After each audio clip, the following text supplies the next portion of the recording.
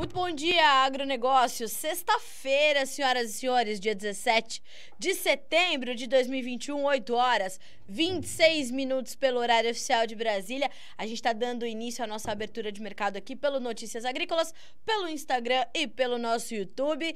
E já aproveito para dizer, se você ainda não é inscrito no nosso canal, se inscreva. Notícias Agrícolas Oficial, vai ali também ativar o sininho para deixar é, é, alerta para toda a nossa programação é, é, é, ao vivo, né? Uma programação que acontece o dia todo, vai te manter sempre muito bem informado, tá certo? Então fique de olho e faça sua inscrição lá no nosso canal Notícias Agrícolas Oficial no YouTube, senhoras e senhores. Lembrando que o nosso canal é, de comunicação tá aberto por lá também, então se você quiser fazer seus comentários, colocar suas críticas e sugestões, por favor, fique à vontade, tá?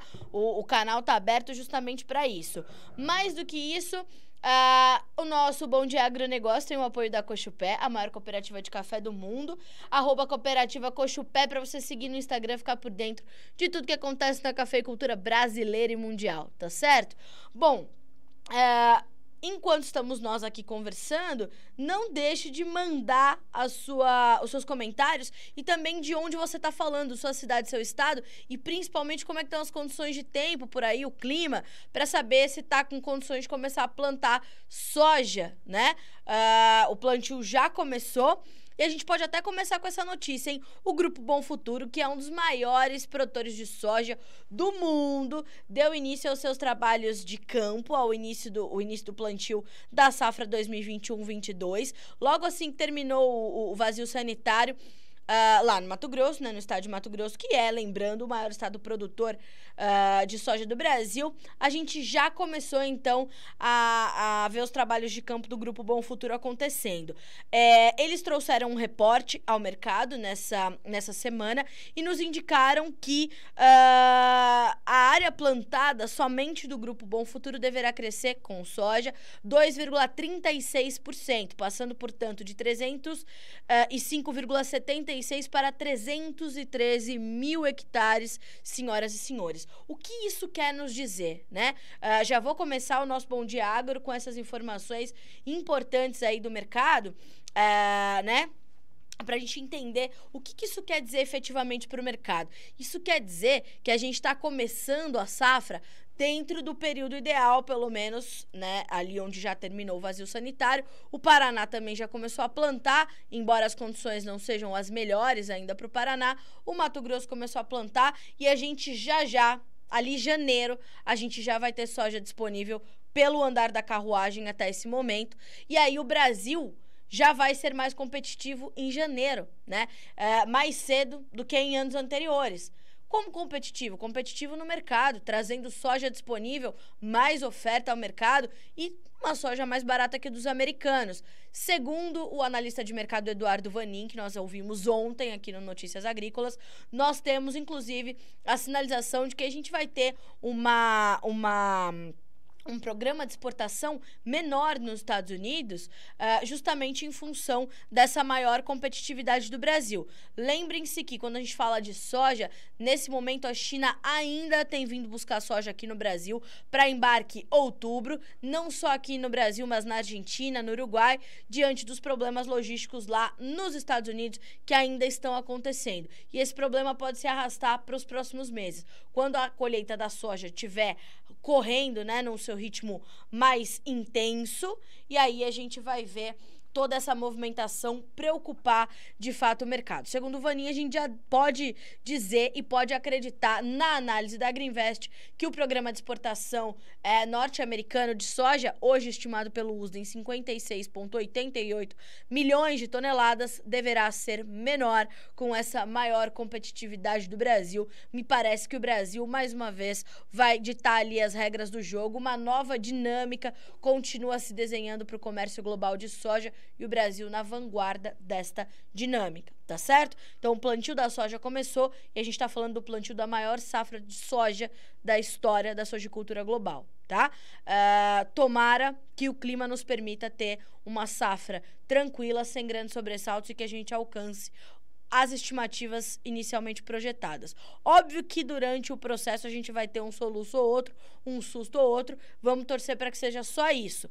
Não se esqueça que a gente tem ali a previsão de um laninha, né? Uh, mas de intensidade, por enquanto, colocada como moderada. Inclusive, ontem é, nós trouxemos a atualização sobre essas informações. Eu vou até aqui recuperar o título da, da Virgínia, né? Uh, olha só, INMET confirma a previsão de novo Laninha em meados de outubro. O INMET, que é o Instituto Nacional de Meteorologia, inclusive fala conosco hoje, né? É, como acontece todas as segundas e sextas-feiras, você é nosso convidado para acompanhar essa entrevista ao vivo com o INMET, que será feita pelo Alexander Horta, para atualizar as informações sobre o clima aqui para o Brasil e principalmente o clima para nossa safra 2021-22. Uh, olha só. O INMET divulgou a previsão do retorno do Laninha a partir de outubro, mas de curta duração no entanto, podendo voltar a influenciar o regime de chuvas no Brasil. Abre aspas para o INMET, após discussões terem sido levantadas na última semana acerca da chance de ocorrer o fenômeno, fenômeno Laninha, que altera as temperaturas médias do Oceano Pacífico, meteorologista do meteorologistas do INMET consideram que o evento possa ocorrer em meados da primavera, em outubro. O centro-sul do Brasil já há mais de um ano sente os efeitos de uma seca bastante severa, prolongada, e a gente sabe que os reservatórios estão nos níveis mais baixos das últimas décadas, o que impacta, obviamente, uh, nos níveis.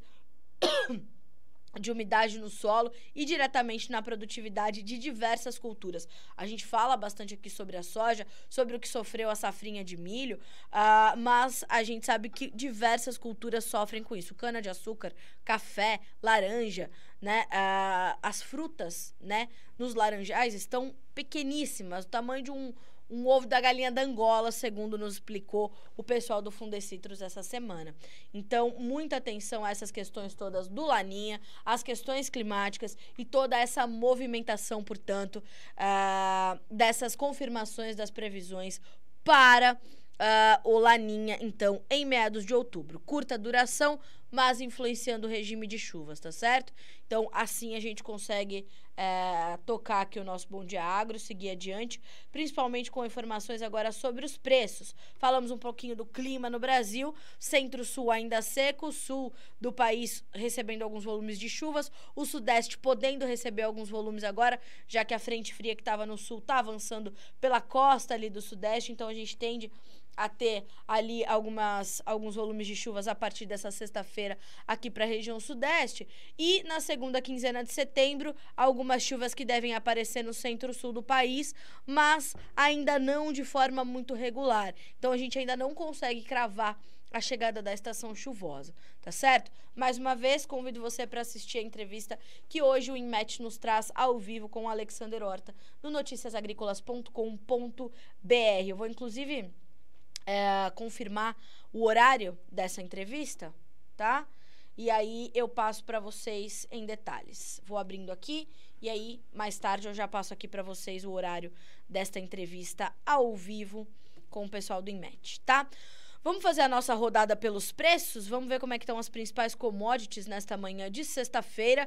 Uh, a soja opera em queda na Bolsa de Chicago, 0,47% de recuo agora, 12 dólares e 89 no principal contrato, que é o novembro, para esse momento, tá?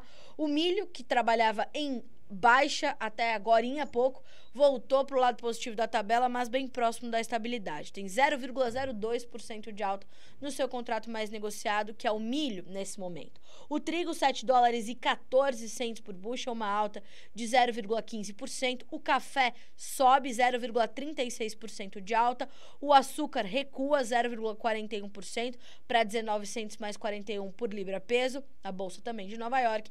O algodão estável, mas do lado positivo da tabela, 0,09% de alta, o petróleo tem mais um dia negativo, mais um dia de correção e realização de lucros. 0,58% de baixa no WTI para 72 dólares e 14 centes por barril. E no Brent, vamos dar uma olhadinha aqui, a baixa é de 0,54% para 75 dólares e 26 centes por barril. O gás natural, o ouro, a prata e o cobre sobem. O cobre se destaca com alta de 1,2%. Se destaca também o, o mercado do minério de ferro, que somente nessa sexta-feira perdeu 7% no mercado chinês. A China continua influenciando o mercado de commodities, interferindo no mercado de commodities e trouxe essa pressão, portanto, portanto bastante agressiva para as cotações uh, nessas, nessas últimas semanas. Nos últimos dois meses, o mercado do minério de ferro acumula uma baixa de 50%. Então, é um outro mercado importante para a gente acompanhar, porque ele diz muito sobre a economia chinesa, ele diz muito sobre como o governo chinês está ainda interferindo e tentando regular tentando e conseguindo, né? É, regular o mercado de commodities e isso também é importante ponto de monitoramento, você tem que ficar atento, tá certo? Essas notícias também já vão chegando para você aqui pelo noticiasagricolas.com.br. Vamos dar uma olhadinha, portanto, mais detalhada nos preços da soja lá na Bolsa de Chicago.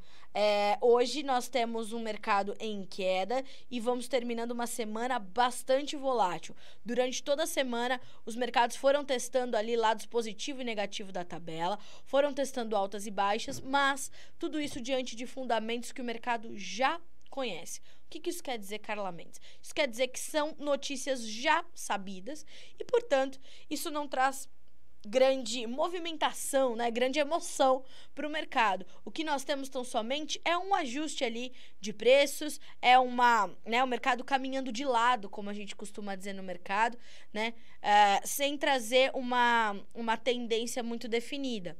Uh, ah, Para alguns analistas, nós termos patamares ali mantidos acima dos 12,60, 12,70, nesse momento o novembro, que é o contrato mais negociado, vale 12,89, nos sinaliza que essa tendência Uh, talvez não de alta, mas pelo menos uma tendência de preços sustentados é bastante clara. On, uh, nessa semana já conversei com o Aaron Edwards, que é consultor de mercado norte-americano, mas conhece muito bem uh, o agro brasileiro também, morou aqui e tudo mais.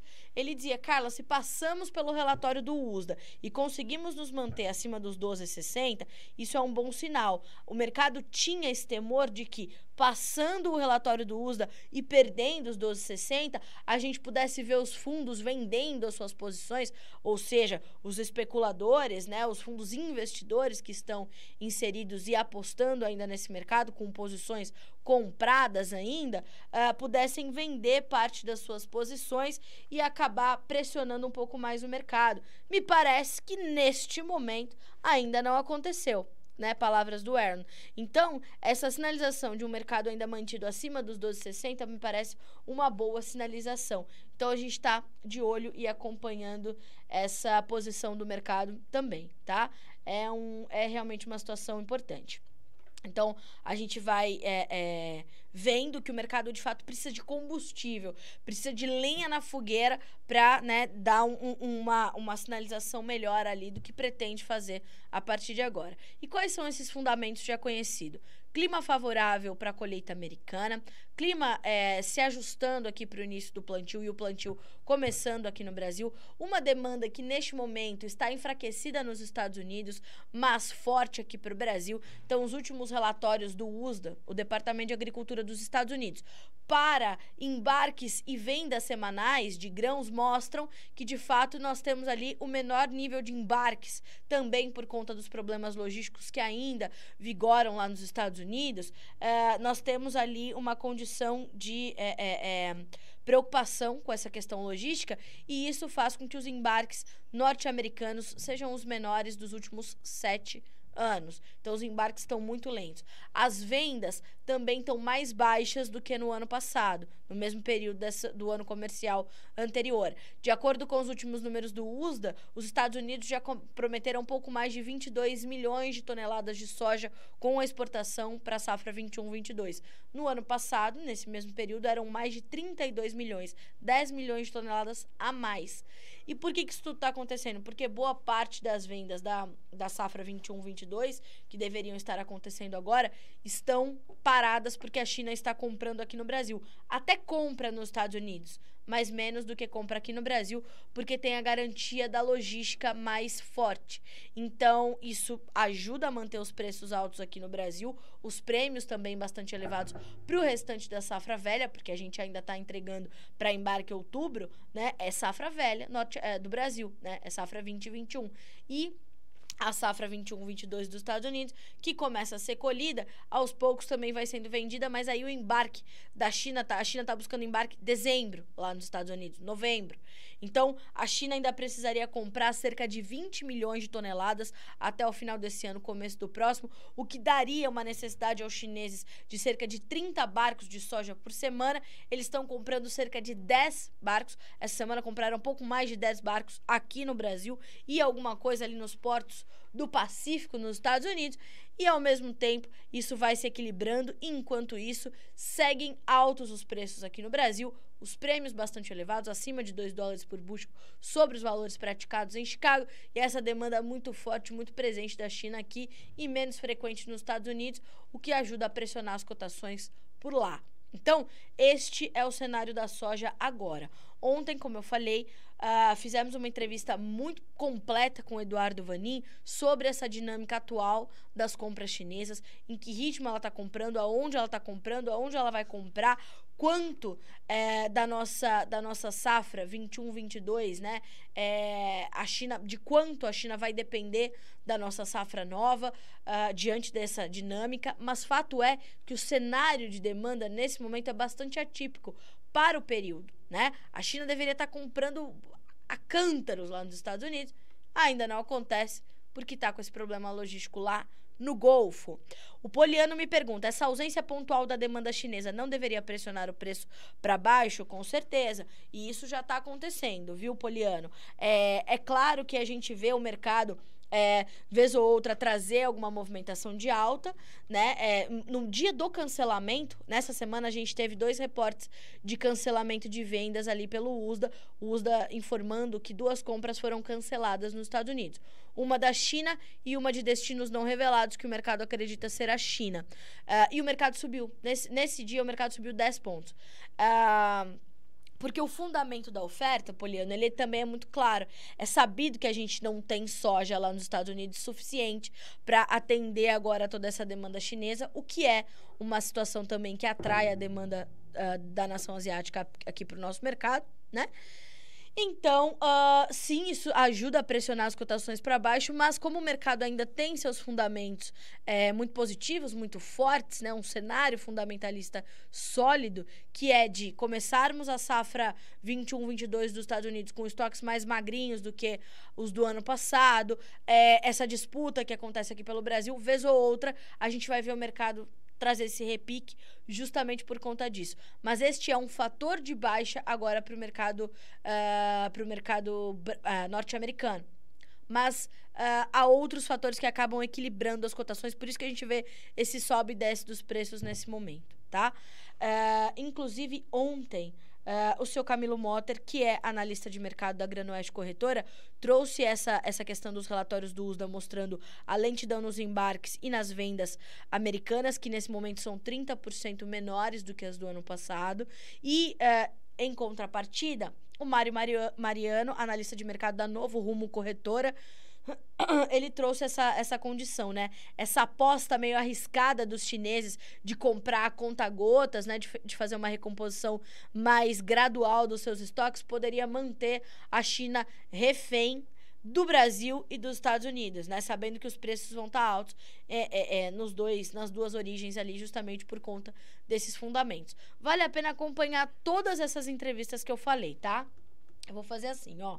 Hoje eu vou fazer diferente. Vou deixar aqui no, nos comentários, ó, menu, vídeos, soja.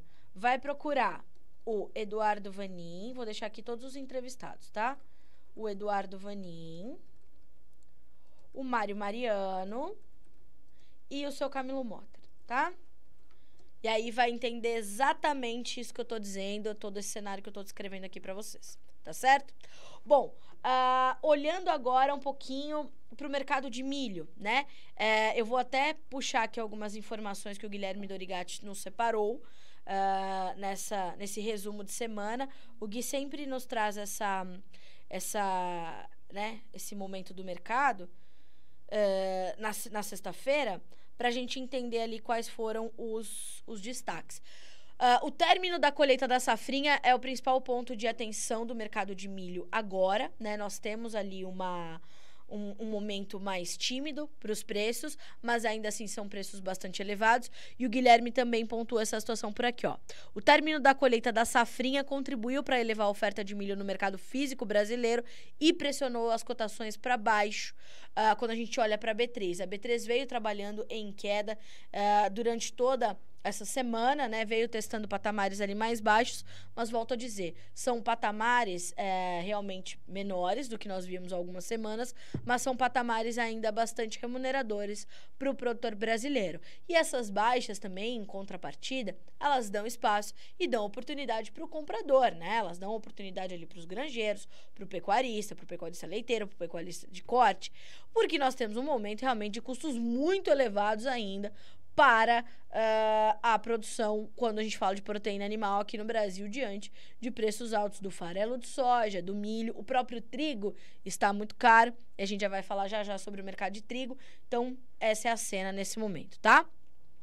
Uh, além disso, os preços internos seguem mais altos do que o da exportação. Já era sabido que isso ia acontecer, principalmente nesse segundo semestre, limitando novos embarques e destinando o volume que seria exportado também para o consumo interno. Volto a dizer, falei, essa semana falei bastante sobre isso aqui no Bom Dia. Uh, o segundo semestre tende a ser um semestre mais forte para a demanda interna por alimentação animal. Então a gente vai aumentando os alojamentos, vai aumentando ali, né, o confinamento. Então a gente tem, uh, tende a ter um segundo semestre, como sazonalmente acontece e tradicionalmente acontece, mais intenso ali para o consumo interno de rações. E isso acaba promovendo essa disputa aí de milho e de soja entre exportação e demanda interna. E quando isso acontece, os preços se mantêm elevados. Por isso que hoje o interior do Brasil paga melhor do que a exportação e o produtor vai optar por quem ali comercializa melhor com ele e vai entregar esse milho para o consumo interno. Mas os novos negócios eles são mais escassos agora. Então, a gente tem essa, eh, né, tem que monitorar esse quadro, tá? Uh, rapidamente falando sobre a Argentina, que está ali definindo também a sua seu início de safra, né, 2021-22, a Bolsa de Cereais de Buenos Aires estima um aumento de área cultivada de 6,6 milhões de hectares de milho para 7,1 milhões. O plantio na Argentina já começou e está em 2,3% neste momento. Uh, também trazendo essas informações. No Brasil, o plantio da safra de verão, segundo informações da consultoria Safras e Mercados, mercado está concluído em 16,7% da nossa área e a Abra Milho estima um aumento da área cultivada em 7 milhões a mais de hectares em relação à safra 2021. Ontem, inclusive, trouxemos informações detalhadas da Abra Milho, com entrevista feita pelo Guilherme Dorigatti, que já está disponível para você. Vou deixar aqui, ó, nos comentários, menu vídeos, milho vai ouvir a entrevista, portanto, deixa eu me lembrar aqui o nome do entrevistado. Essa entrevista foi um dos nossos destaques ontem, né? Uh, o Guilherme trouxe essa, essa perspectiva, portanto, da, da Abramilho, sinalizando esse aumento de área, que é uma, uma perspectiva bem comum hoje entre os analistas, justamente porque temos é, essa, essa o, o, o, produtor sendo atraído pelos preços altos do milho, né? Então, naturalmente, ia ampliar um pouquinho a, a área com a safra de milho verão. É o Cesário Ramalho, né? Tinha me esquecido o nome do presidente da Abramilho. Falou com o Guilherme ontem. Essa entrevista já está disponível para você aqui no Notícias Agrícolas, tá? Uh, o Guilherme nos informa ainda: 28% do plantio concluído do milho primeira safra no Paraná uh, e 96% da safrinha colhida. Informações do DERAL, o Departamento de Economia Rural do Estado do Paraná, tá? O Mato Grosso uh, tem aí 87% da sua safra 2021 de milho e 30,1% 9% da sua safra 21, 22 de milho é, também já comercializados. Esses são números do IMEA, o Instituto Mato Grossense de Economia Agropecuária. Uh, nós temos também o Rio Grande do Sul concluindo o seu plantio. O Rio Grande do Sul é o primeiro estado que começa a plantar o milho verão. E uh, nós temos ali, então, uma, uma espécie de né, conclusão ali do plantio da safra gaúcha de verão de milho. Uh, e em Santa Catarina, 40% dos 750 mil hectares estimados já também foram plantados. Então, Santa Catarina bem avançada também no plantio de milho. Uh, e o Gui também nos separou aqui umas informações sobre o Realidades da Safra, que é aquele retrato que a gente faz da safra brasileira, como sempre. Uh, ainda falando sobre Santa Catarina, a perspectiva é de uma produção de 2 milhões e meio de toneladas para essa nova safra que se inicia. Uh, o Paraná já começou o plantio e espera colher mais de 19 milhões de toneladas, o que digo, deveria seria uma safra razoável, né? Uma safra que não é uma safra uma coisa gigantesca, não é nada disso, tá? É uma safra ok para o Paraná, que, lembrando, é o segundo maior produtor de soja do Brasil, tá? Uh, uma produtividade média esperada em 60 sacas por hectare, também média, uh, mas boa para rentabilidade né? Então a gente está nessa situação. Uh, estamos acompanhando e já aproveito para agradecer o Gui pelas informações aqui que ele separou para gente nesta sexta-feira. Sobre o mercado de trigo, ontem o Gui entrevistou o Marcelo Debaco, analista de mercado da Debaco Corretora, trazendo ali as perspectivas para o mercado de trigo. Segundo o Debaco e segundo as informações levantadas pelo Gui, uh, o momento é muito positivo para o mercado. Os preços do trigo estão nos melhores uh, momentos aí da história para a triticultura brasileira. Uh, e a gente tem um bom momento para o produtor olhar para o seu head, para suas fixações de preço, para suas operações de comercialização, tá certo? Uh, o mercado internacional está com muito fundamento autista, assim como soja e milho. É um, um quadro é, já também sabido, né? Que a gente tem é, uma redução na produção global de trigo. Vários países produtores importantes, né? Na, nos produtores-chave ali, Canadá, Rússia, tiveram redução nas suas estimativas de produção por conta de adversidades climáticas.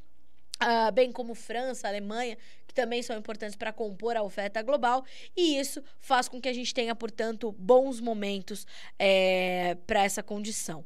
Nós estamos falando de um preço para exportação pagando R$ 1.450 por tonelada. Uh, em anos anteriores, essa média era de R$ 1.200.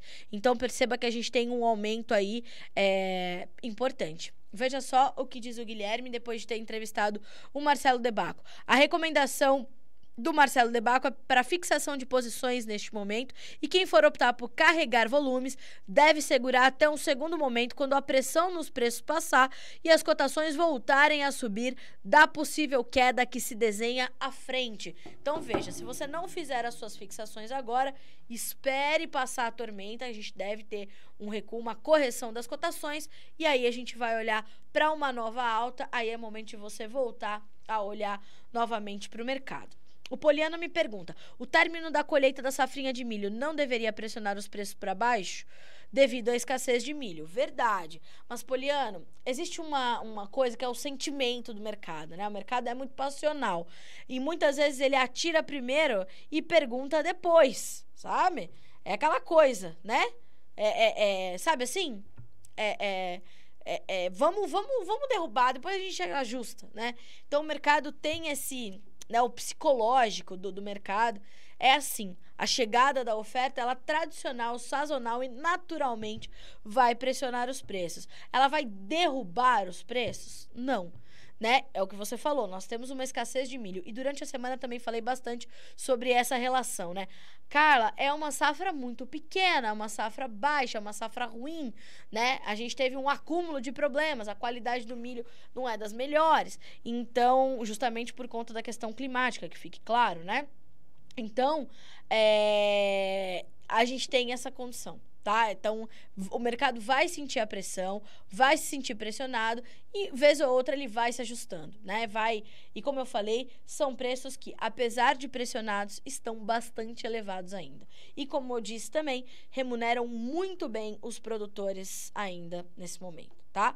Então é natural que o mercado passe por isso, mas já já ele se ajusta ou vai se ajustar em patamares mais acomodados. Como diz o Vlamir Brandalize, é um momento de acomodação dos preços, né? Bom, uh, falamos bastante hoje de soja, falamos bastante de milho. Vamos dar uma olhadinha agora no nosso mercado do café. Uh, e lembrando, senhoras e senhores, que os mercados de açúcar, café e soja já estão abertos para você aqui no Notícias Agrícolas com informações fresquinhas, tá? Acabaram de sair do forno. Uh, olha só.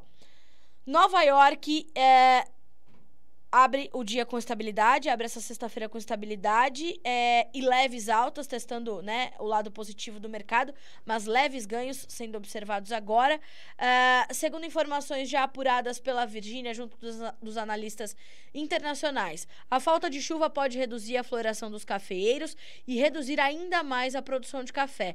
A disponibilidade de água no solo mineiro já se encontra em níveis críticos, entre 0 e 30%, quando o nível mínimo para desenvolvimento da cultura é de 60%. Senhoras e senhores, o café, o parque cafeeiro desse país já passou tudo que podia passar nesse ano. E os problemas e os prejuízos vão ser contabilizados no ano que vem também. Isso a gente já vem falando.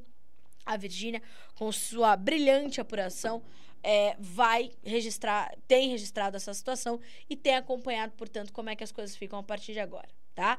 Uh, e isso continua refletindo no mercado. Mas o mercado, ele, ele tem também a sua, o seu fôlego, né?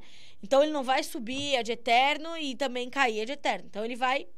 Como vem subindo conhece essa, essas condições, ele vai olhar para isso. Inclusive, a gente está aqui falando sobre o mercado de café. Eu quero mandar um beijo, um abraço pro seu Otto.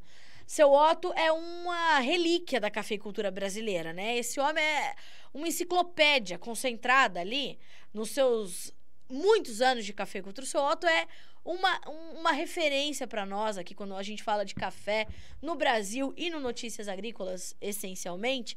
Uh, a gente vai sempre é, ouvir a voz da experiência do seu Otto. E ontem ele é, ligou pra gente, enfim, ele sempre liga aqui pra gente pra, pra dar um feedback do nosso trabalho, o que é extremamente importante, né? É, pra gente entender se estamos aí caminhando na trilha correta.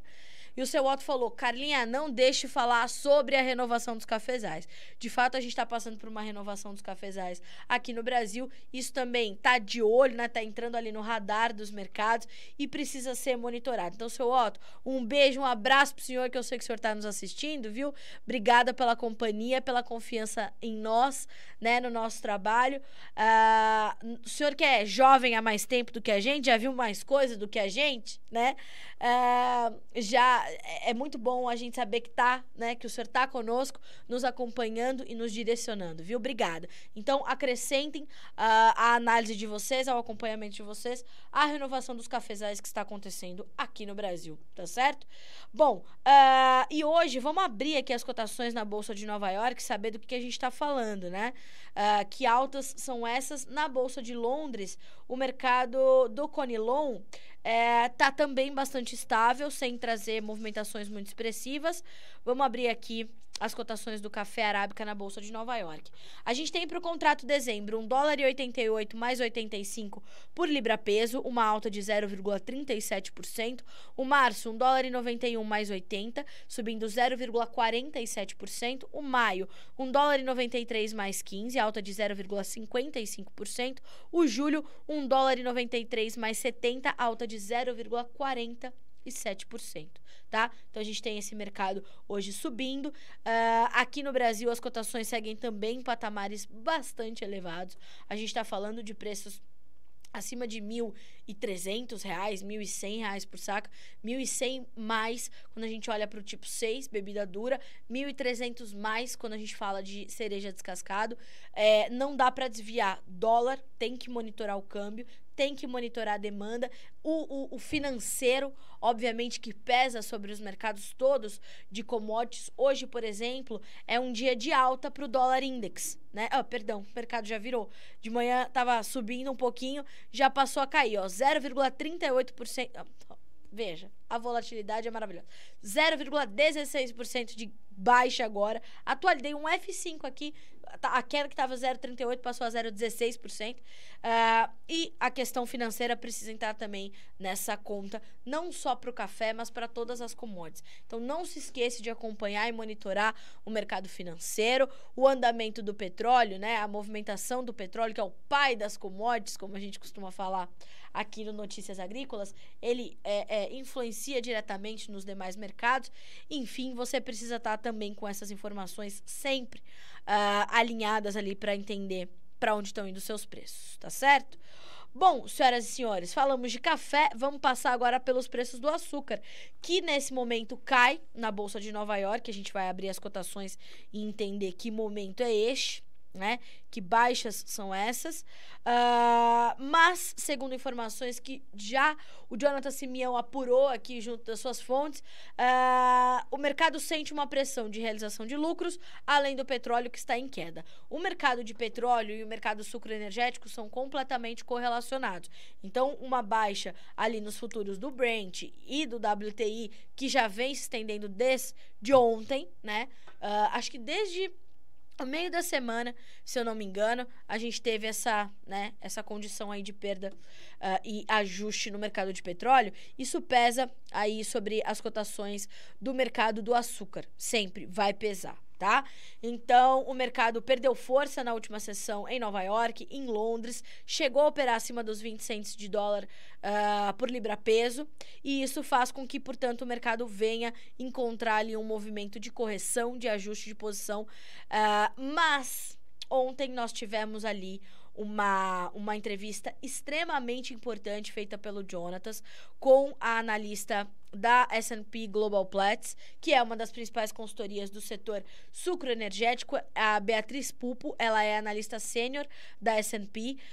Uh, e ela trouxe um cenário importante para os preços do etanol, tá? Uh, com as, a moagem acontecendo mais cedo e podendo se encerrar mais cedo diante de uma safra menor por conta de todos os problemas climáticos, uh, os preços do etanol devem se manter firmes com uma entre-safra maior. Se a moagem vai terminar antes, a próxima vai demorar a chegar, a entre-safra é maior, período de entre-safra é período de alta de preço, portanto, uh, com essa situação aí para 21 22. O preço do etanol hidratado nas usinas já bateu recorde de R$ 3,94. Uh, e esse e esse teto esperado para o preço do etanol é ali na casa dos 4,30 na análise desta consultoria da S&P Global Platts, tá? Uh, e isso acontecendo no primeiro trimestre de 2022, sem uma mudança esperada para o atual cenário. Inclusive, a consultoria acredita que a gente poderia ver uh, a importação de etanol dos Estados Unidos para os meses mais críticos de entre safra. Vejam vocês aonde estamos chegando, importando o etanol diante das perdas que tivemos aqui promovidas pelo clima. Não se esqueçam, um milhão de hectares foram uh, afetados pelas geadas. Né? Uh, além da seca e além do que passa agora e dessa moagem que deve ser, portanto, encerrada mais cedo. Então, o mercado sucroenergético está num momento extremamente importante, delicado, atípico e a gente está entendendo toda essa situação por aqui, tá certo? A gente vai monitorando e vai acompanhando, tá? Uh, vamos lá. Daniel Vasconcelos me pergunta pelo YouTube. Bom dia. Algo sobre a alta no preço do milho na Cealba? Cealba é aquela região, né? Sergipe, Alagoas e Bahia. Daniel, uh, as altas nos preços do milho, elas têm sido motivadas essencialmente pela oferta mais ajustada. É, provavelmente, aí na sua região, você tem uma, uma demanda interna mais intensa, mais presente agora, mais uh, forte nesse momento, puxando mais milho. Uh, ou, né, tendo que trazer milho de algum outro, algum outro estado e por conta disso nós temos então essa puxada. Mas eu vou levar a sua pergunta para os analistas para a gente ter uma análise mais completa. Mas certamente essa alta nos preços ela é motivada por uma oferta que nessa safra, nesta temporada, é mais escassa. Então foi aquilo que eu disse. A gente tem uma pressão de fato sobre o mercado, mas o mercado ainda tem fundamentos positivos muito fortes. E isso faz com que os preços mantenham-se é, é, em patamares ainda elevados, tá? Bom, senhoras e senhores, uh, vamos falar um pouquinho sobre o mercado do boi gordo. Uh, nós temos ali é, é, uma movimentação ainda de preços né, pressionados, o mercado ainda está um pouco mais, é, mais tímido, né? Os preços estão ali com, com certa pressão. Parte disso vem das incertezas pras, com as exportações chinesas, algo que eu imagino que deva ser restabelecido o quanto antes, né? as coisas já, já foram todas alinhadas ali depois dos casos de vaca louca atípica que nós registramos esse ano. É, o caso já foi encerrado, mas é, o mercado segue dando os resquícios ali, né? Uh, ontem, inclusive, o analista de mercado e sócio da Radar Investimentos, o Douglas Coelho, trouxe essa, essa perspectiva interessante, ó. Estratégia de frigoríficos para equilibrar margens enquanto China fica fora da comercialização passa por uma redução de abate e até férias coletivas, tá? Uh, isso é uma forma de tentar equilibrar ali esse momento. Os custos estão muito elevados, né? Uh, e isso eles vão, o, o, as indústrias vão tentando ali equilibrar as suas atividades com essa redução de abate, férias coletivas e tudo mais. Uh, então, isso é um, uma forma desses frigoríficos tentarem equilibrar o mercado. Os preços da arroba, segundo o Douglas, seguem sem referência, né? Uh, e os poucos negócios que acontecem, eles acontecem num intervalo de 290 a 300 reais por arroba. Então, o mercado segue pressionado e precisa de uma definição com essa história uh, da China, uma, uma chave para fechar to toda essa, essa situação. Falta uma brechinha ali, né? Embora esteja tudo resolvido, falta a suspensão terminar. Volto a, ref a reforçar. Essa suspensão ela é fruto de um dispositivo no contrato que nós temos entre Brasil e China Detectou vaca louca, automaticamente suspende as importações. Em 2019, durou duas semanas. Vamos ver como é que fica para essa, essa ocorrência. Lembrando, em 23 anos de vigilância sanitária, este é o quarto caso de vaca louca uh, registrado aqui no Brasil. O último foi em 2019, que foi quando a gente teve essa suspensão de duas semanas, tá? Uh, e a gente também monitora toda a situação da Arábia Saudita, né? Uh, então precisamos entender também como é que as coisas ficam é, para a Arábia Saudita, mas aí já é um mercado um pouquinho menor que tem um impacto mais é, limitado sobre o nosso mercado de boi gordo, tá certo? Uh, o Eduardo Vioto chegou aqui agora, ó. Bom dia, Franca São Paulo. Chuva que não vem. Tomara que chegue, né, Edu? Tomara que chegue o quanto antes. Vocês estão precisando, pelo amor de Deus, os cafezais estão precisando, né? Uh, senhoras e senhores, vamos dar uma olhadinha que já é notícia neste site. Agora, 9 horas 8 minutos, pelo horário oficial de Brasília. Uh, olha só, setor de cafés especiais ganha plataforma com cursos de capacitação. Isso é ótimo, né? Uh, quanto mais conhecimento, melhor.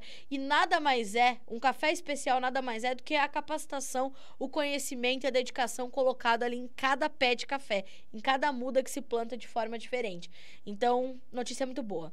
Uh, CNA pede suplementação de, de recursos para o seguro rural. Inclusive, ontem, Alexander Horta trouxe uma entrevista muito importante com o Pedro Loyola sobre seguro rural já que o Ministério da Agricultura está pedindo ali uh, o remanejo né, de uh, um volume importante de, de recursos para cobrir a subvenção do seguro rural, né, para elevar o orçamento do seguro rural. E é uh, o mapa que é, é, quem está pedindo essa, esse remanejo formalizou um pedido para que esse volume de 376 milhões de reais seja, é, então, elevado eh, seja destinado ao orçamento do seguro rural e eleve, portanto, os recursos para este mecanismo, para essa ferramenta de proteção do produtor, que é extremamente importante. Vale a pena você ouvir o Pedro Loyola, que é diretor do Departamento de Gestão de Riscos do MAPA, Ministério da Agricultura, Pecuária e Abastecimento.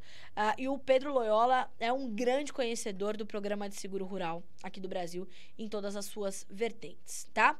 Uh, governo eleva a IOF para pagar o aumento do novo Bolsa Família, que é o Auxílio Brasil, né?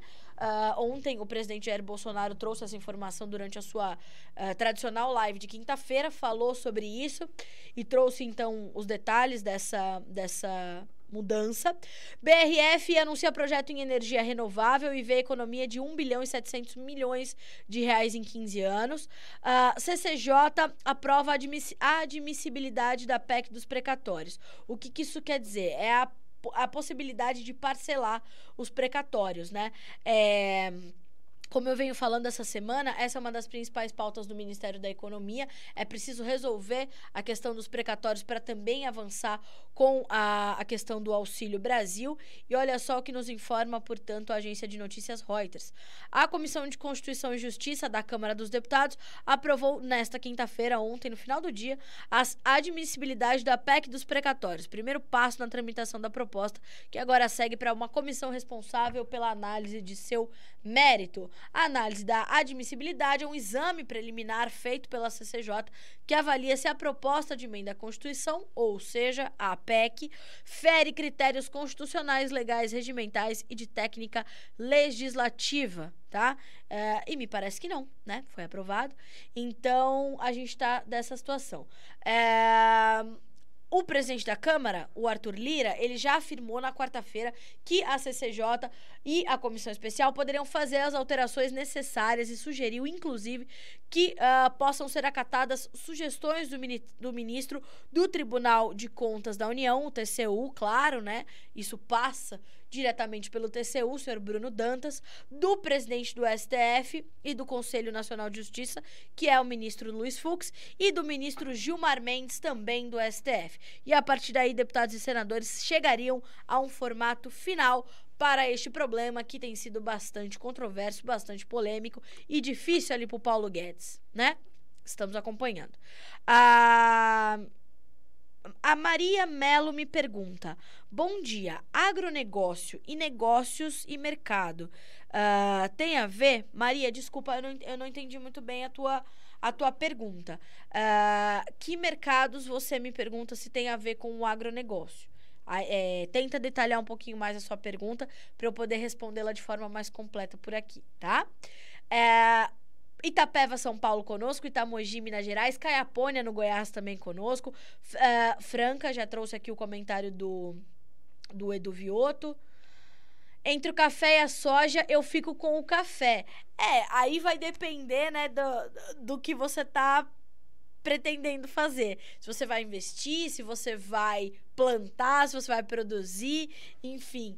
É, tem espaço para todo mundo, viu, Maria? Tem espaço para soja, tem espaço para o café, para o milho, para a laranja, tem espaço para tudo.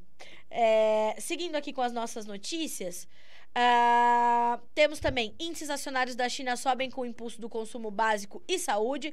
Inflação na zona do euro é confirmada em máxima de 10 anos por energia. É interessante observar essas situações, né? Hoje de manhã eu estava ouvindo o jornal da Jovem Pan, como eu faço todos os dias, uh, e eu estava ali acompanhando como se demonizou o governo federal por conta da inflação. Ah, é culpa do governo a inflação por conta da energia elétrica, dos combustíveis, dos alimentos. Uh, busquem tentar reverter essa mentalidade das pessoas e não é subverter, tá? É reverter e fazer as pessoas entenderem que nem tudo é culpa do governo. É, e não importa que, que governo esteja lá, né? É, é importante a gente entender como é que a formação dos preços se dá, como é que as coisas caminham e como isso impacta diretamente na nossa economia. É terrível um cenário desse de inflação? É terrível. O poder de, de o poder aquisitivo da população fica corroído? Fica. Mas veja que a questão da energia elétrica tem um, um, um, um uh, uh, uma espécie de, de respaldo ou de origem é, forte na crise hídrica. Vamos usar as termoelétricas. Se a gente for usar as termoelétricas, a gente também vai ter um custo e a gente também vai ter outras consequências. O preço dos alimentos ele passa por uma série de motivações para estar nos níveis que estão. Passa pelo, principalmente pelo choque de oferta.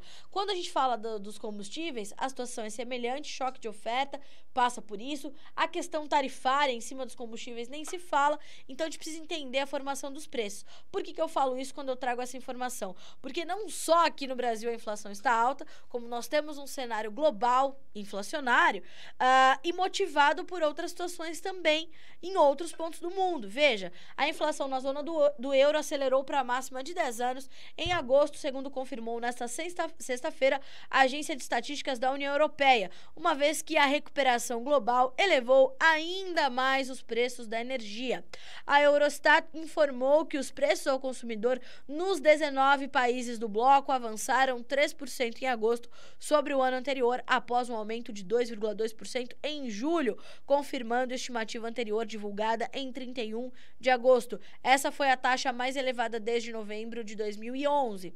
Na comparação mensal, os preços do bloco no bloco avançaram 0,4%, também em linha com a estimativa inicial da Eurostat. O aumento é um desafio para a visão benigna do Banco Central Europeu sobre a alta dos preços e a decisão de olhar além do que considera ser uma alta temporária acima da sua meta de 2% tá? Então, estamos aqui monitorando também a inflação em outros países, em outros pontos do mundo, como é o caso, por exemplo, da uh, União Europeia agora, né? Da União Europeia, não. É, da União Europeia, perdão. Uh, não, mentira da União Europeia, não. Da zona do euro, tá? Uh, vamos lá. Uh, o problema do atual governo é a equipe de economia, aumento de preços, a inflação e a energia. Uh, as contas de luz aumentaram muito. Maria, realmente. É, as contas de luz aumentaram, a comida aumentou, os combustíveis aumentaram, mas muito disso, volto a dizer, está alinhado, está atrelado a questões que vão além uh, da possibilidade de atuação do governo federal.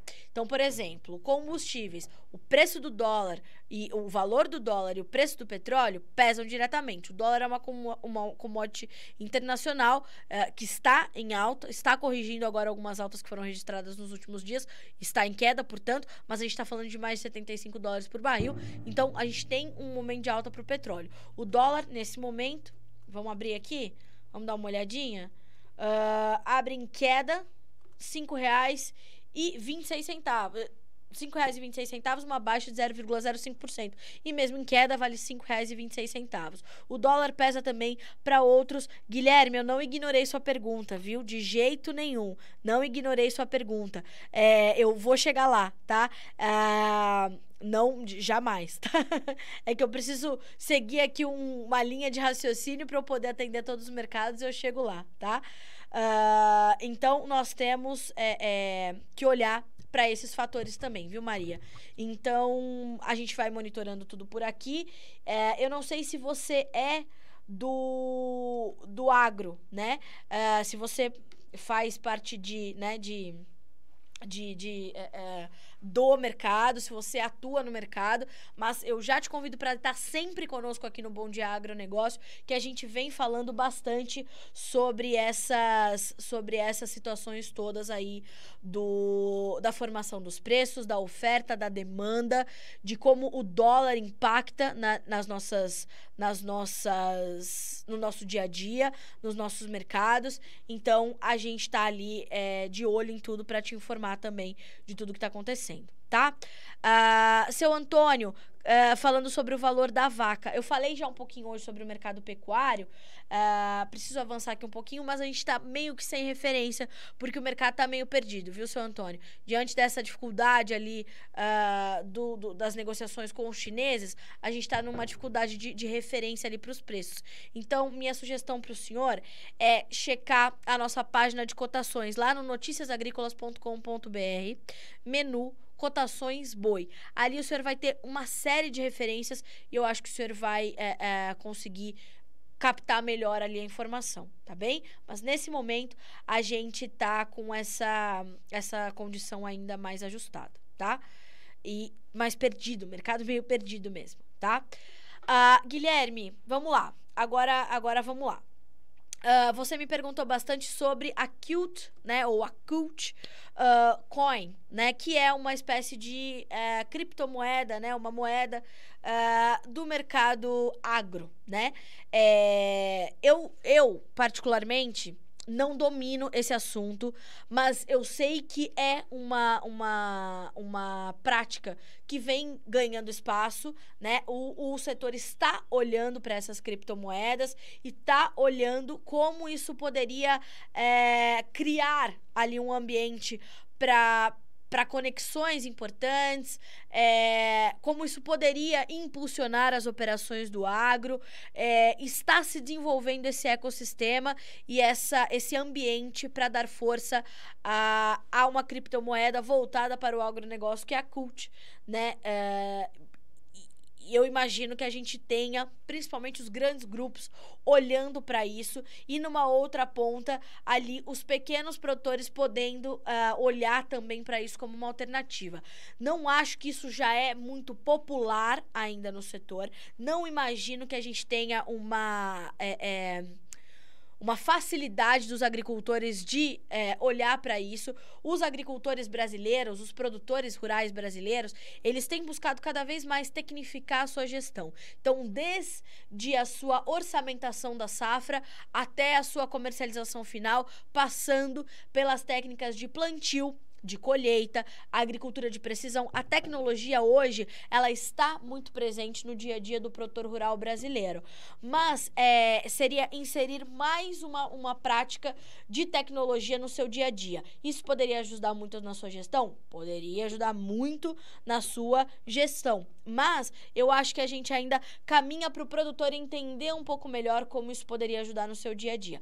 Mais do que isso, a gente tem visto os produtores brasileiros buscando muita informação de educação financeira, formas de comercialização, formas melhores de adquirir os seus insumos, de fazer a sua gestão. E eu acho que uma criptomoeda focada no agro brasileiro, de fato, poderia trazer algum ganho nessa busca por conhecimento, por educação financeira que tem tido o produtor brasileiro. Eu vou me comprometer aqui contigo a levar essa pauta para especialistas, para a gente entender como os produtores brasileiros estão recebendo é, essa moeda específica para o agro, tá? Eu me comprometo aqui contigo para trazer essa, essa, né? Essa, esse conhecimento e trazer essas informações, saber como isso já está inserido no setor, como os produtores têm recebido essas informações, e aí a gente vai falando sobre isso. Uh, então, assim, é, acompanhei sua pergunta desde o início da live, só fui trazer ela para cá para eu poder uh, poder seguir ali com a minha com o meu, meu roteiro, né, para passar pelos principais mercados, mas pode deixar que eu vou levar essa pauta ali para os nossos especialistas, ver como é que eles estão avaliando isso e aí a gente consegue te trazer uma, uma resposta mais concisa, tá? Mais sólida. Uh... Acompanho as notícias do tempo com a Cis e o Alex. Maria, eles são incríveis, né? Os dois já são excelentes, juntos são maravilhosos. Uh, Veredas Exportadora, bom dia a todos e bom dia, Carla. Que todos possam ter vitória nesse dia, que assim seja. Já temos a primeira vitória do dia, que é o quê? Estamos concluindo o nosso Bom Dia Agronegócio desta sexta-feira. Senhoras e senhores, 9 horas 23 minutos pelo horário oficial de Brasília. A nossa programação aqui no Notícias está só começando. A gente tem um dia cheio de boas informações para você, informações apuradas sempre com muita responsabilidade, com liberdade de opinião, uh, aquilo que é importante para você seguir o seu dia e concluir bem a sua semana. Segunda-feira a gente volta a se encontrar aqui no nosso Bom Dia Agronegócio. Vejam que a gente está começando um pouquinho mais cedo para otimizar o dia de vocês, tá certo? Então sintonizem cedo no nosso Instagram, aqui no noticiasagricolas.com.br. Você sabe, e no, no nosso Instagram, Notícias Agrícolas, não, arroba Notícias Agrícolas, no nosso YouTube. Uh, e não se esqueçam que o nosso objetivo aqui é fazer com que vocês sejam sempre os produtores rurais mais bem informados do Brasil. Senhoras e senhores, mais tarde nos vemos lá no arroba jornalista da soja para a gente fechar o mercado de grãos. Tá fechado? E segunda-feira a gente volta a se encontrar por aqui, tá bom? Um excelente final de semana para vocês, um bom restinho de sexta-feira. Descansem, recarreguem as baterias. Segunda-feira tem mais Senhoras e senhores, até lá. Boa sexta para você, bom final de semana.